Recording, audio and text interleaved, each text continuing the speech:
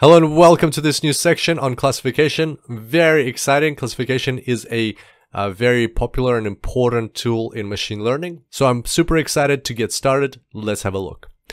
All right, so classification can be defined as a machine learning technique to identify the category of new observations based on training data. Uh, this is different to regression where we had to predict a continuous number. Here we use classification to predict a category.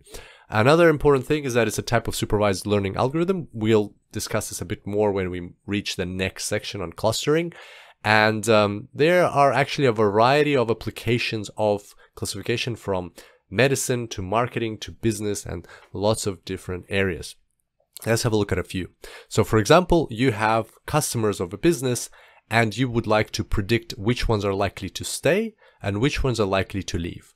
This is also called churn modeling. Very important uh, because if you can predict which customers are likely to leave your business in the next month or six months, then you can take actions and send them special offers or ask them about their feedback and make certain changes so that they stay. So it's a very powerful tool for businesses.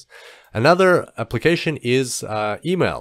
So for instance, if you get an email, um, it might be classified as normal mail, or it might be classified as important and urgent mail and might have a special marker. Especially if using Gmail, you'll see those little um, chevrons or triangles at the beginning of a message saying that it's important. Or it might be categorized as a promotion and it might be put into a separate folder so it's not uh, filling up your main uh, inbox which you use for work. Or it might be categorized as spam. So spam filters have become very good uh, over the past uh, few years. We barely see any spam in our inboxes, um, and that is thanks to classification algorithms. And another uh, application is image recognition. Um, so for instance, here we have images of dogs and cats. Uh, classification would be able to separate dogs uh, from cats.